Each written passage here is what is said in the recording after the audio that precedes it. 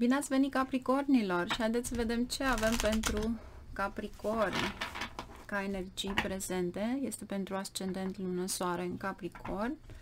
Pentru iubitorii de tarot îi invit în săptămâna aceasta până la sfârșit să intre pe site. Vor avea mari surprize pe site. În a învăța cărțile de tarot cu simboluri. Încă nu este gata. Sper ca până la sfârșitul acestei săptămâni să fie gata. Dar vă anunț pentru a intra singuri. Deci, ce avem pentru Capricorn? Până acum am avut mesaje dubioase. Haideți să vedem ce avem pentru voi. oh, nu prea. Pentru Capricorn. Honeymoon. Oh, vacanță. Voi ați obosit. Sigur ați obosit pentru că voi sunteți cei care munciți cel mai mult. Sau vi se impune. Oh, chimie. Oh, foarte frumos. Foarte frumos. Deci există într-adevăr o atracție magnetică extraordinar de frumoasă. Past life relationship. Deci, uh, este ca și cum v-ați cunoscut de mult timp sau pentru unii dintre voi această relație este ceva la care ați fost puși față în față cândva și este foarte, foarte repede. Uh, pentru unii Capricorn, mesajul care mi se dă aici este de a domina partenerul celălalt. Deci, ceea ce, ce mi se dă ca mesaj este că voi veți domina prin plăcerea, pasiunea cu cealaltă persoană, uh, veți domina persoana respectivă. uh, e ceva la care n-am mai văzut așa ceva de, așa de, de foarte mult timp, n-am mai văzut uh, în această zodie, la această zodie, acest semn pe care îl aveți. Deci, haideți să vedem atunci ce avem pentru prima voastră etalare pentru Capricorn. Pajul de săbii. Wow! Mie îmi place aici când este vorba de prima carte. Soarele. Herofantul. Doamne, ce mesaje! Lumea. Saturn. Hm. Și pajul de monede. Wow! Vești, succes, ceva la care ați fost nemulțumiți. Oameni buni este una dintre, cred că este una dintre cele mai frumoase mesaje și pe plăcerea mea la ora actuală în ce energii suntem și în ce situații suntem în viața de zi cu zi. Dar vreau să spun că acel capricorn din voi, care ar fi ascendent, soare, lună, oricare dintre ei, veți deveni cei mai buni detectivi săptămâna aceasta. Da, cei mai buni. Soarele și Herofantul. Mi s-a încrețit pielea, pentru că am dreptate. O văd ca pe o viziune. Nu știu ce e cu voi, dar de la voi vin mesajele respective, deci nu vin de la mine, eu sunt neutră, eu ce pur și simplu le citesc.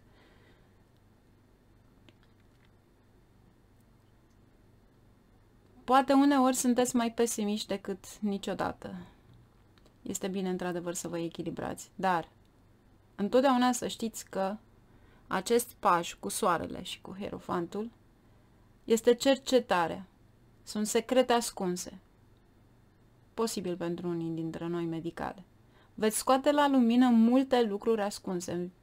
Este ceva legat de o instituție, de un guvern, de ceva care este foarte bine pus la punct.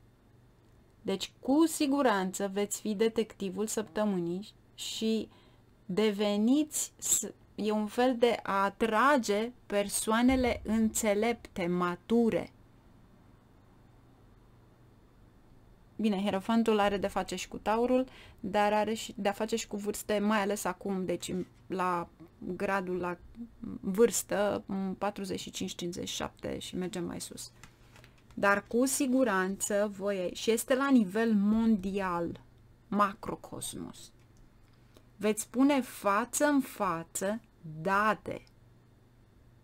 Este extraordinară energia.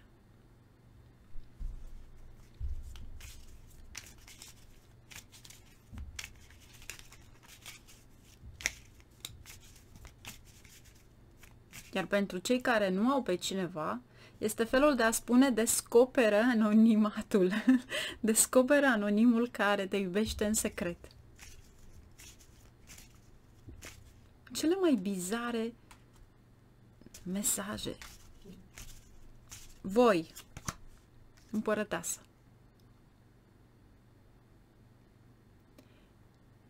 Aveți informații nu numai despre bunăstare. Împărăteasa întotdeauna vine cu abundență, dar abundența cum? Și prin grija copiilor, prin grija a ceea ce se întâmplă, a ce, ce informații aveți. Grija mamei, grija bunăstării, grija a, tot ce este mai pozitiv. Este Venus. Chiar și secretul unei creme pe care ați pus-o în aplicație, în, în aplicare sau ați încercat să faceți ceva mai bun. Ceva la care vi se arată dar cu siguranță în viața amoroasă aveți de-a face cu cineva cu care, care vă este destinat. Soarele, 5 de spade. Vă scoate la iveală lupta voastră și claritatea cu care mergeți mai departe. Herofantul, 4 de cupe. Sunteți dezamăgiți de ceea ce se întâmplă. Turnul, surpriza surprizelor.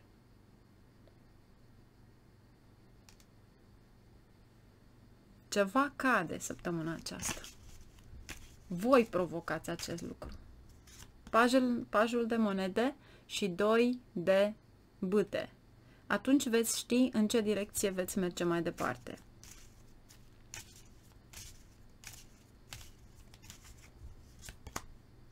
Asul de monede. Cineva care vă propune posibil un nou început? Șapte de monede pentru început este ceva care um, din foarte puțin, din acel puțin veți realiza. 8 de cupe, cineva care iese din viața voastră, sau mai bine zis, este o situație din care ieșiți, poate chiar ieșiți, o situație toxică, posibil legată de această instituție, magicianul, cineva care um, vă susține și este surpriza surprizelor și e posibil ca susținerea respectivă să vină de peste hotare. 10 de bute, care a adus mai mult greul acela și încearcă să termine acel ceva. Să... E un fel de a ieși dintr-o situație urâtă și ne face dreptate. Regele de săbii, regina de săbii. Deci, efectiv, voi vă căutați pentru, pentru a descoperi ceva. Ce spuneam mai înainte? O cercetare. Sunteți cei mai buni detectivi săptămâna aceasta. Capricornul nu știu ce faceți, dar voi descoperiți ceva care scoate la iveală absolut tot. Și este spre binele omenirii, pentru că aveți de-a face cu lumea. Este ca și cum lăsați pe unii cu gura deschisă.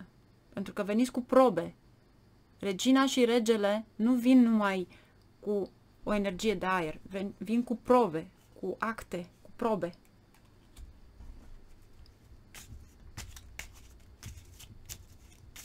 Turnul. Această stagnare a fost din partea unei puteri, a unei instituții.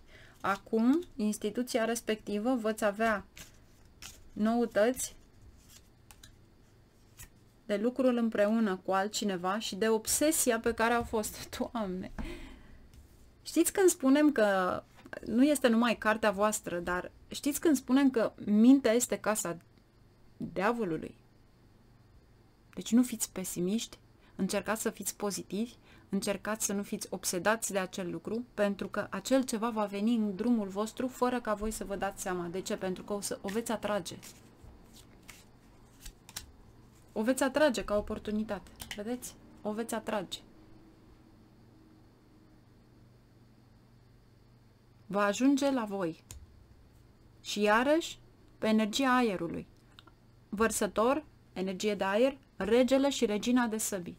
Deci, fiți atenți la niște energii care vin pe calea aerului.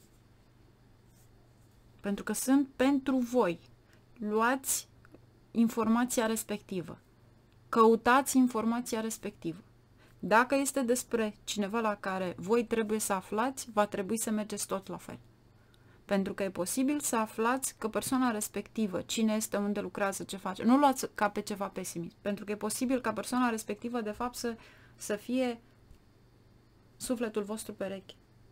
Există o chimie. Deci, chiar dacă veți întâlni pe cineva, voi veți merge mai întâi să căutați cine este persoana respectivă în toate rețelele de socializare, în primul rând, atât cât este capabil și mai pune cineva o informație înăuntru.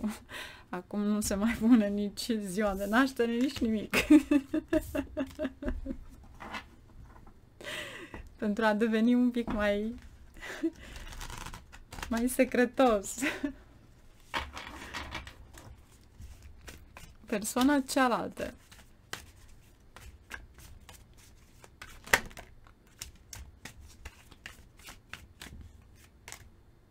Regina de cupe. Este o persoană blândă, plină de iubire, care încearcă să aducă multă dragoste în viața voastră.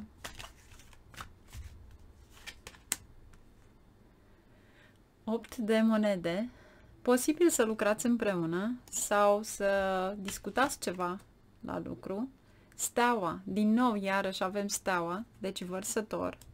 Deci avem o energie a vărsătorului sau poate oportunitatea care vine, nebunul, riscul de a lua cu voi și la bază, o, oh, e destinul, nu e numai risc. deci persoana respectivă intră în viața voastră pentru că așa este destinat. Și este regele de bâte. Wow! Ce magnetism! Transformare totală. Perfect. Sper să fie adevărat. Sper să vi se întâmple pentru că este una dintre cele mai frumoase energii. Și vă doresc să, să vă transforme în bine și să aveți o relație frumoasă cu această persoană. Pentru că știe ce vrea. Chiar dacă doriți sau nu, să știți că tot bine pentru că aveți roata. Este destin. Persoana cealaltă. Mesaj de dragoste. 9 de monede. Este o persoană independentă. Vă oferă totul. Justiția. Persoană în echilibru. Cavalerul de monede vine cu o ofertă stabilă și riscă. Deci este a doua oară, este, vă dă un nou început.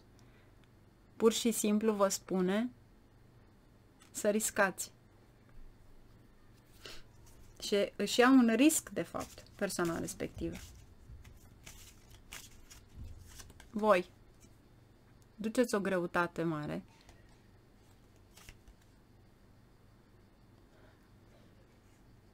Sunteți singuri. Chiar dacă la propriu poate nu sunteți pentru unii dintre voi, dar vă simțiți singuri. Regina de spade. Doriți atât să vi se spună adevărul și să fiți cu ideea adevărului. Luna. Pentru că ați fost mințiți și înșelați și ceea ce vă doriți este o împlinire emoțională. Foarte frumoasă etalarea voastră. Ce va aduce destinul. Dar dacă riscați asta, veți avea. Dar depinde de voi dacă vreți să riscați. Destinul va aduce să terminați o relație care va aduce o mulțime de nenorociri și să mergeți mai departe. Da, asta e să se termine ceva, ați trecut, 3 de bâte de a prevedea viitorul și 4 este succesul vostru.